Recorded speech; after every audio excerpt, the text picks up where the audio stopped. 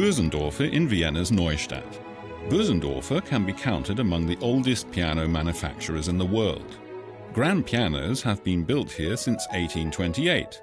Since 1828, it is a craftsmanship rendered by hand, even today in this high tech day and age. Besides one or two processes, everything at Bösendorfer is still done by hand. Ferdinand Breu is technical manager at Bösendorfer and is awaiting a customer today. Not a pianist in this case, and not a sales partner for Bösendorfer pianos either.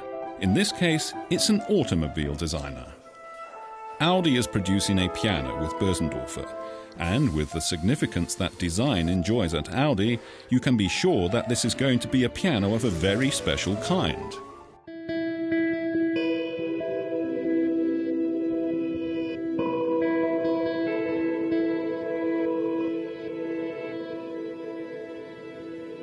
Audi Concept Design Munich is discreetly located in a back courtyard in the metropolis on the Isar River.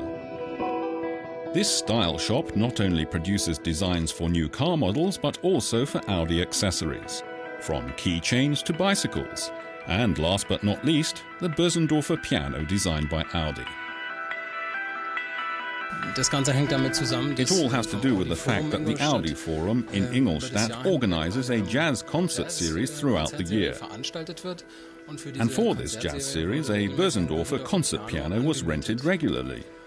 This, of course, led to the idea of constructing a Bösendorfer piano in our own Audi design specifically for this concert series. Designing accessories or automobile bodywork is one thing. An entire piano that in its predominant form has been uniformly constructed for over 300 years, that's something else. The commission to design a piano is initially very attractive but also very demanding. From the very beginning, we knew that we did not want to transform a piano into an automobile. Five designers, numerous drafts from which just as many sub-variants are derived. 1 to 10 scale models, 1 to 5 scale models, hand drawn sketches on paper, hand drawn sketches on LCD, three dimensional CAD animations. All of this spread over three years of development in order to arrive at a concept that in the end represents typical Audi design reflected in a piano. But will the same thing that works for an automobile also work for an object as classical as a concert piano? Actually, there were parameters in the design that were very difficult to realize.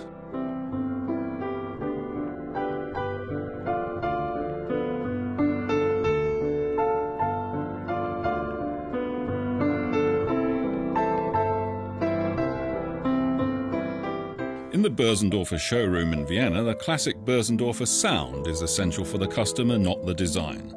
Considering, of course, that the build of pianos has remained virtually unchanged for 300 years, usually incorporating Baroque elements of style.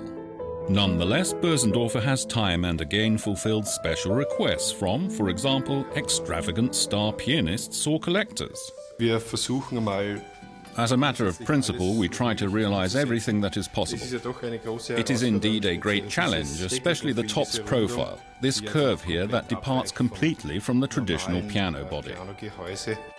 It's not only the unconventional curves of the Audi piano that put Bösendorfer to the test. The piano manufacturer had to harmonize the demanding design parameters from Audi with the demanding construction parameters of a Bösendorfer concert piano the frame and body of a Bösendorfer having to be able to withstand immense stress.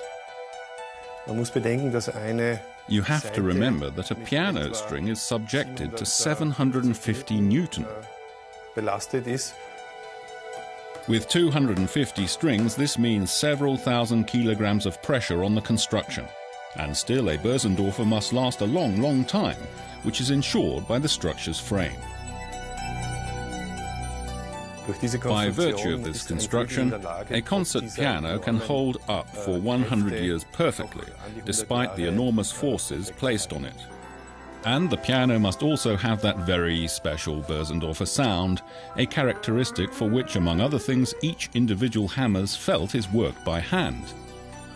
Although a piano's construction is a considerable challenge even without special parameters, the intense collaboration between Audi Design and the technical department of Bösendorfer led to the achievement of Wir haben von dem we were able in the end to reach a realization rate of 99% of the chosen design.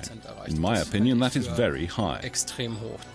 What's exceptional is that we have a new concept for the legs. The piano is not standing on three points but on two long rails.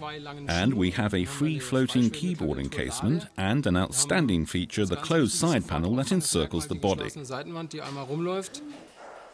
The entire piano body is a sounding body. The designers and the manufacturers are hoping that the side panel will serve to intensify the bass tones.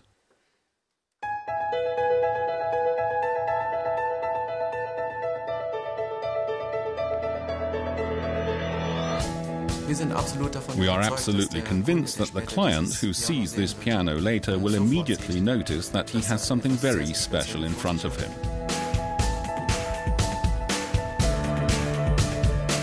It has to remain a true Bösendorfer concert piano. We cannot reinvent it, but it seems that we did it anyway.